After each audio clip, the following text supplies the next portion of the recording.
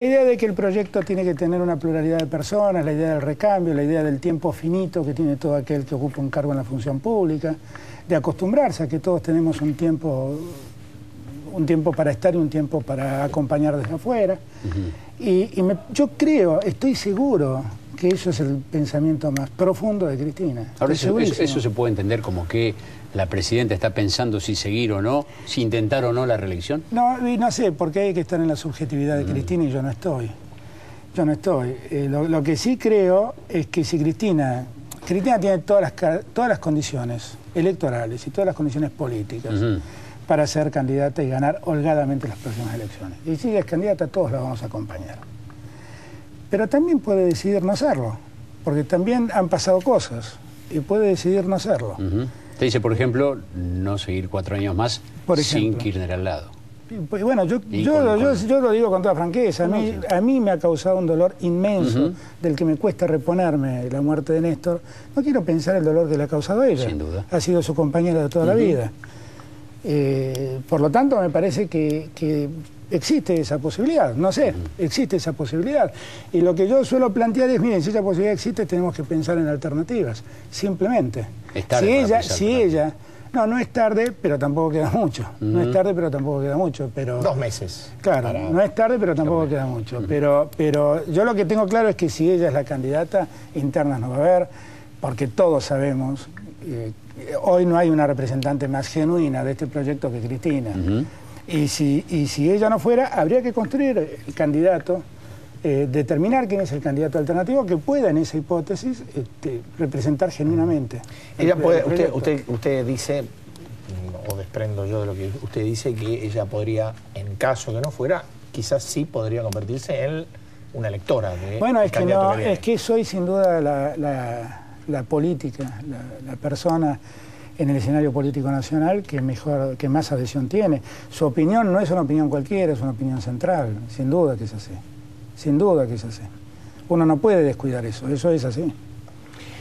Doctor, eh, y mirando el, recorrido electoral que queda este octubre, digo, uno tiene lo que decíamos recién, eh, la oposición está como está, la idea de que Cristina va a ser candidata, de que si es candidata gana. Digo, puede haber un recorrido en un país como la Argentina, de alta imprevisibilidad política, de un país donde el conflicto es casi una constante en, el desarrollo cotidiano.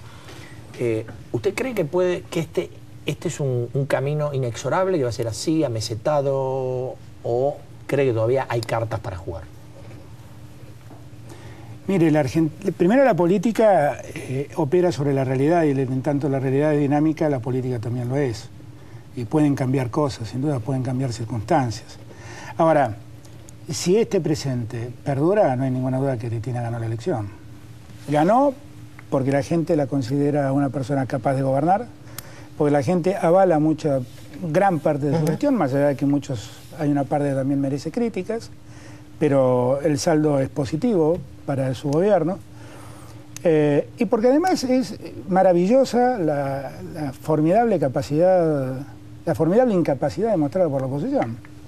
Es realmente merecedor de elogio porque es increíble que alguien sea tan eficiente en, la ineficiencia. Eh, y eso lo que hace es alejar a los votantes. Porque lo que uno siente es, pero ¿cómo, cómo va a quedar en manos de estos tipos que hace... Vamos a pararnos en el radicalismo hace dos semanas era imperiosa esta interna, porque eso ponía el, radicalismo de vuelta en la senda de... y de repente no, no, tiene más sentido.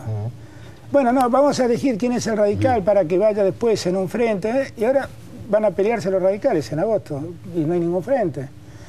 Eh, yo lo sigo viendo a Macri. Macri este, habla del desborde que ha tenido ayer, que es absolutamente cierto, el desborde. Bueno, yo yo tardé dos horas y media en llegar a mi oficina, que son 40 cuadras del lugar donde partí, 30 cuadras del lugar donde partí. Fue un desquicio ayer el tránsito, pero todo porque una ambulancia no fue a atender a una persona que finalmente murió. Macri no está en condiciones de poner mil personas a cuidar los, hospitales y los colegios de la ciudad de Buenos Aires. Digo, el ciudadano medio ve esas cosas y dice, pero a esto les voy a confiar mi suerte los próximos cuatro años de vida. Bueno, tampoco parece muy racional eh, decidir retirar 1.200 policías con el argumento de que... Yo admito, de que, eh, admito que ganamos seguridad en la calle y la perdemos en otro lado. Admito, admito que además, aunque pueda ser resultar razonable, debió haberse articulado de otro modo. Lo que es insoportable es que digan que no tienen posibilidad de reemplazarlo. Crearon una policía. Digo, la policía no, no sirve para, para sacar a la gente de Albariños, para sacar a la gente de Indoamericano, para frenar manifestaciones de cortes de ruta. ¿Para qué sirve? tampoco para, para, custodiar edificios. Pues entonces dejemos de gastar 500, 600 millones de, de pesos al año dejemos de gastarlo. Me parece que, que, la gente ve eso y la gente se inquieta. Y en la medida que no hay una propuesta un poco más articulada, la gente se queda con lo conocido. Gracias. Gracias. muchas gracias a ustedes. Seguimos en Código Político.